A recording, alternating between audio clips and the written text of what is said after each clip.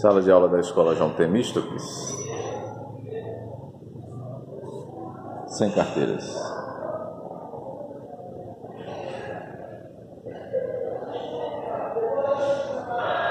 A escola necessita de 140 carteiras. 12 de março a secretaria ainda não providenciou.